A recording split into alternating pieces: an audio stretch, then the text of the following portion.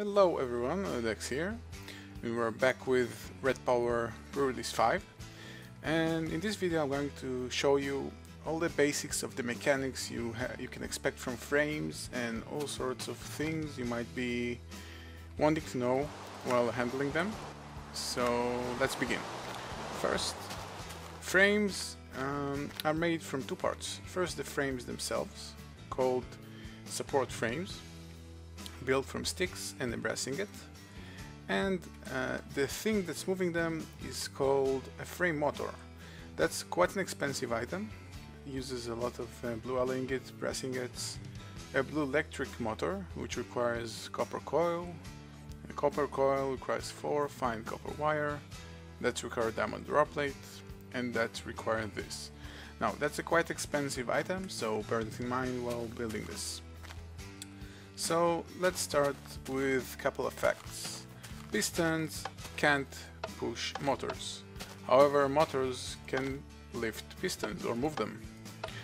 Motors can move other motors. Where is my lever? There. And motors can also move um, items with entity value, like a chest that has items in it. If I move, I can move it around, and the content of the chest move, moves with it. Um, let's continue on. Um, unlike pistons that can push um, up to multiple blocks in a row without with the limitation of 12 blocks, frames don't work that way. If they can move all the items um, touching the frames themselves, but if you place an item um, in the path of an item that's being moved by frame. I hope you understand what I meant. For instance, here, this dirt block is being moved by this frame block, but this arm block isn't touched by frame and blocks the way for this dirt block. If I try to run my motor now, it won't work. So, for instance, a solution for this is connecting, setting up some system that looks like this. You have a row of um, frames with a piston in the end and jacketed wire going all over this frame connected to this piston and the frames uh, supporting the, the jacketed wire.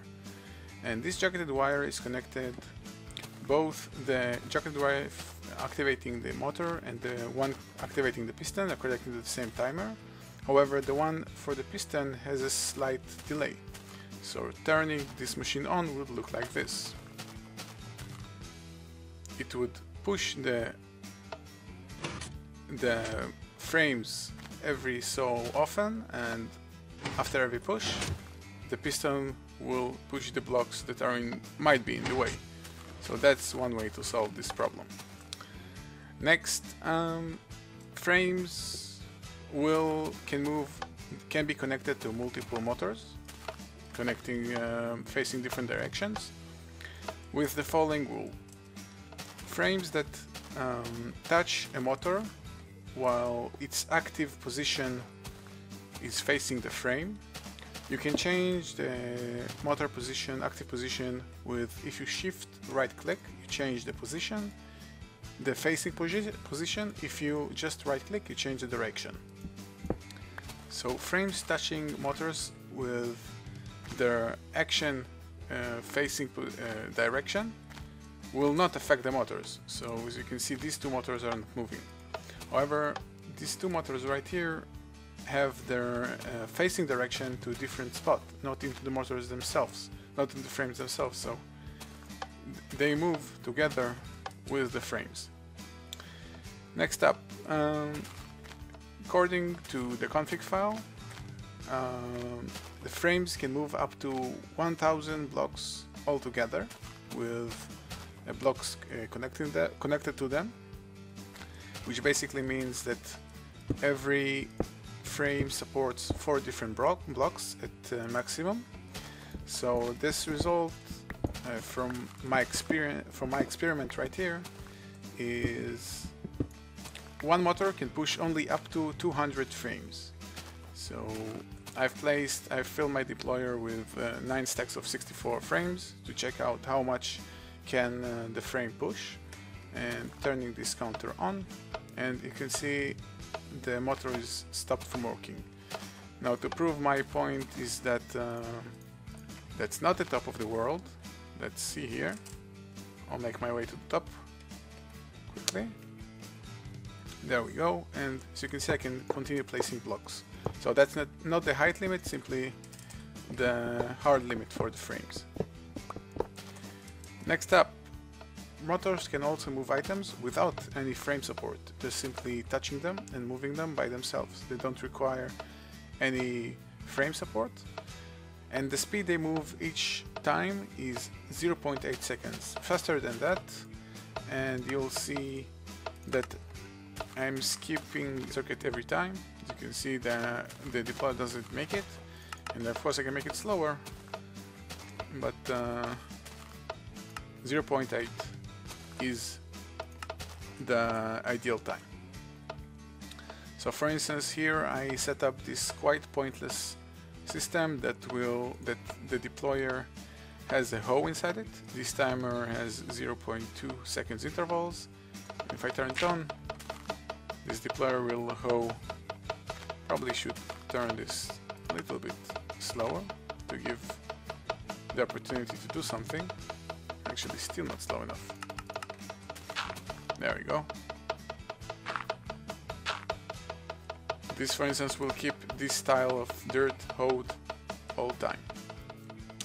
And for the last part of um, this explanation video, if you want to place um, all sorts of tile blocks from Red Power, like um, alloy or all sorts of sequencers or, or uh, logic gates, you can place them directly on the frames. But if you place, for instance, a cobblestone panel or cover also will work. You can place your tiles and your wires without any problem. And one another thing I forgot to mention is that following my explanation for this rule here that a frame cannot push a block that's being blocked by another block. For instance, if you have a frame touching the ground right here, that system will break. Why? Because this frame is touching this dirt block and this dirt block is being blocked by all these other blocks right here. So let's say I want this frame to be here to move something else, but I want it to ignore the ground. So the solution is to place a cobblestone cover, or basically any other cover for that matter, on the bottom part of the frame. And now the frame will basically ignore the part that, that has a cover touching it, like this. Sorry. Should now. As you can see. So, that's it. I hope you find this video useful. Please feel free to ask me any question that you'd like. I'll try to answer everything that I can or know. So far, I've tried to play a lot with uh, frames and uh, really enjoying them so far. And see you guys next time.